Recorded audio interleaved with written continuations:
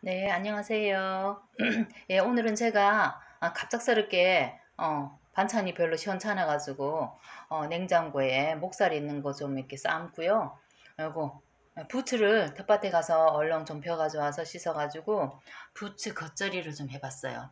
예, 부추 겉절이에는 뭐 들어갔냐면은 어, 멸치 액젓 하고요. 그리고 이제 양파 조금 채 썰고요. 그리고 매실액 하고 예, 마늘은 조금만 넣었어요. 예, 그래가지고 매실 액이 들어갔으니까 뭐 별다른 설, 설탕 안 넣어도 돼요. 그래가 조물조물 이렇게 어, 얼렁 이렇게 버무려가지고 접시 담아놓고요.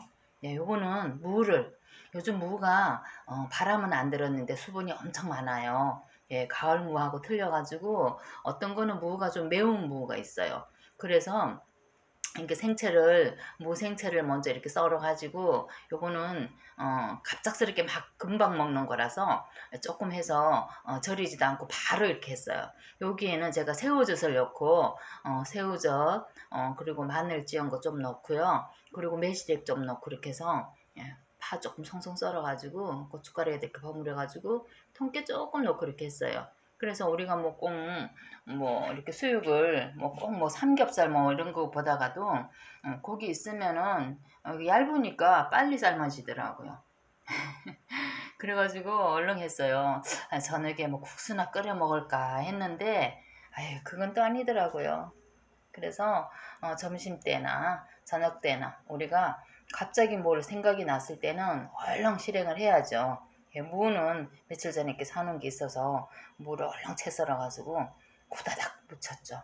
그리고 하고 부추. 우린 경상도는 전구지라 그래요. 이렇게 해가지고 멸치액젓 넣고 요거는 묻히고 요거는 새우젓 넣고 이렇게 묻혔더니 맛이 괜찮더라고요. 그래서 이렇게 겉절이 같은 거는 뭐 양념 그렇게 짜더라 많이 안 넣어도 돼요. 간만 맞으면 되니까.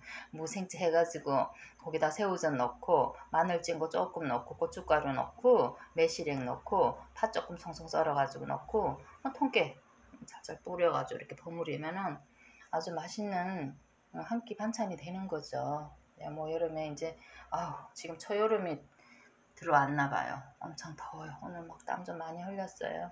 네. 여러분들 아무튼 뭐꼭 응? 수육해서 뭐 돼지고기 덩어리 삶는 거 보다가 이런 거 머릿고기 참 저기 이렇게 저기 목살 네, 그런 거라도 이렇게 해서 같이 이렇게 싸서 먹어요. 여기에다가 이제 된장찌개 끓여 놨으니까 찌개랑 같이 이렇게 밥 한 끼 먹으면 되죠. 뭐. 네, 아무튼 여러분들도 여름에 이제 건강 챙기세요. 저는 이제 패턴이 바뀌어져 가지고 어, 오늘 3층을 한세분 오르락 내리락 했더니 아주 기운이 딸려요. 어, 땀이 줄줄 나요. 계단 청소하고 올라왔거든요. 예, 예, 여러분 아무튼 이렇게 한번 해보세요. 예.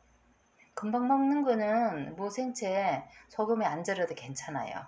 예, 요거 한 끼 이렇게 먹을 수 있는 거는 바로 썰어서 무쳐도 되니까 이렇게 한번 해보세요. 음, 요거 부추 겉절이. 예. 요즘에 아직 그벼 먹으면 또 올라오고 벼 먹으면 또 올라오고 그러더라고요. 예, 여러분들 아무튼 건강 챙기시고 예, 우리 또 저녁에 또 만나야죠. 글쎄요, 저도 이제 6월달 들어가지고 음, 우리 유치님들하고 또 이렇게 소통을 해야 되겠죠. 아무튼 여러분 감사합니다.